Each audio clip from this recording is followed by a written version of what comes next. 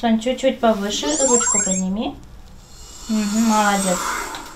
Если очень захотеть, можно в космос полететь. С таким девизом проходят домашние занятия юной Сони Берзиной. В полтора года девочки поставили диагноз ДЦП. Сначала врачи думали, ребенок ленится, но позже выяснилось, ноги и руки ее не слушаются. Соня не подглядывает, да, и мы делаем э, занятия с пальчиками. Научиться слышать свое тело Соне помогают на занятиях ЛФК. Когда специалист трогает каждый пальчик на ноге, девочка пытается почувствовать, какой именно. Все занятия выездной бригады проводятся в игровой форме, но требуют серьезной работы. Со мной она э, делает вид, что она сразу устала, у нее ничего не получается. Все, то у нее глаза выпадут от прописей, то еще что-то.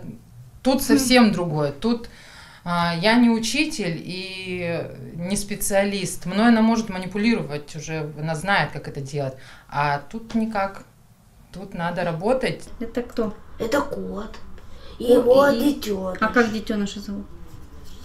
Кать? Котенок. У 11-летнего Никиты Каратаева задержка психоречевого развития. Его частые гости – логопеды, психолог и соцпедагог. Без их полезных занятий ребенок был оторван от общества. Спустя 6 лет добился отличных результатов. Мы ходим в обычную школу.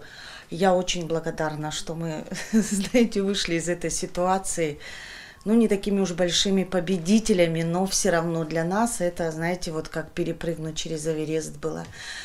Вот, и мы ходим в обычную школу, в обычный класс. Конечно, не все у нас легко и гладко, но мы стараемся, мы идем. Вокруг очень много людей, которые мне помогают, и я очень благодарна им. Выездная мобильная бригада – это специалисты доброты, логопеды, психологи, социальный педагог, инструктор по адаптивной физкультуре и привлеченные из других учреждений олигофренопедагоги и специальные психологи. Главное – это социализация ребенка, это наладить общение э, с родителями, с детьми, с друзьями, это общение вообще с другими людьми. Ну и, конечно же, коррекционное развитие.